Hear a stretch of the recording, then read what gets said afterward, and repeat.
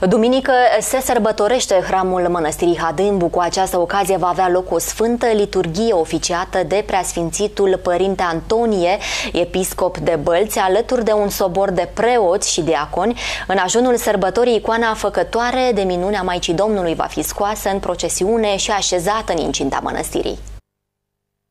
A trecut peste 29 de ani de când am redeschis cu ajutorul Dumnezeu acest sfânt lăcaș Știm prea bine că această mănăstire arăta ca după război. Și primul hram, după Revoluție, după ce am redeschis acest monument istoric, s-a făcut în 90. Deci slujba s-a săvârșit afară, am amenajat acolo o scenă din lemn, cum era timpurile atunci, Vedem astăzi din minunea lui Dumnezeu ce este astăzi și ce a fost acum 29 de ani. Este lucrarea lui Dumnezeu, a Maicii Domnului și, de ce nu să spunem, a bunilor credincioși. Astăzi, Mănăstirea Hadâmbu este un loc sacru unde tot mai mulți pelerini vin să ceară ajutorul Maicii Domnului. Sărbătoarea hramului din acest an are un program liturgic deosebit conform tradiției. Referitor la programul liturgic din uh, ajunul sărbătorii, la ora 18 Vecenia Unite cu Litia, la ora 19 scoaterea în procesiunea icoanei făcătoare de Minunea Maicii Domnului, ora 20-30 taina Sfântului Maslu și la mezul nopții, după rânduiala Sfintei noastre, Mănăstiriul Trăinea. În ziua praznic împărătesc al nașterii Maicii Domnului,